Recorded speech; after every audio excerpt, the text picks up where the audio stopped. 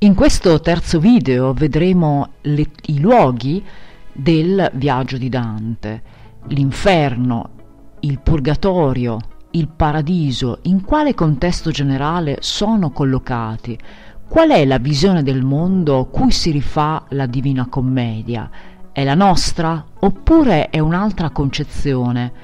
Qual è quindi la concezione dell'universo tipica del Medioevo?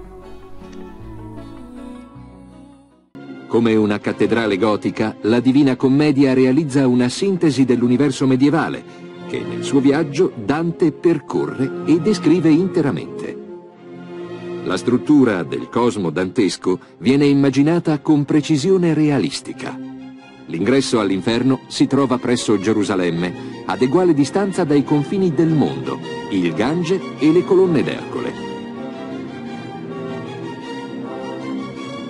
La caduta di Lucifero, l'angelo ribelle che si è conficcato al centro della terra, ha provocato la voragine infernale.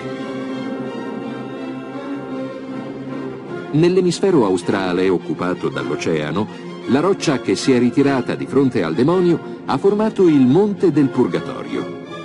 Attorno al globo terrestre, sferico e immobile, secondo le indicazioni del geografo antico Tolomeo, ruotano nove cieli che prendono il nome dalla Luna, dai pianeti e dalle stelle.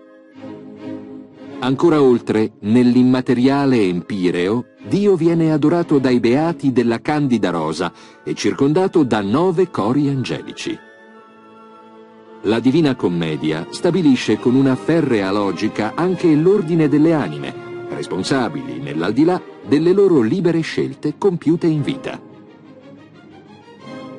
Gli spiriti maledetti dell'inferno vengono disposti in cerchi sempre più profondi, secondo la gravità dei peccati stabilita dall'etica di Aristotele, fino ai traditori divorati da Lucifero. Fanno eccezione i vili, confinati da Dante nell'anti-inferno, e gli spiriti del limbo, pagani virtuosi o bambini non battezzati. Le anime del purgatorio, invece, espiano le loro colpe distribuite sulle cornici della montagna nell'ordine dei sette vizi capitali previsti dalla Chiesa. Salendo al cielo si incontrano infine i beati, secondo l'ordine di importanza dei meriti acquisiti sulla terra.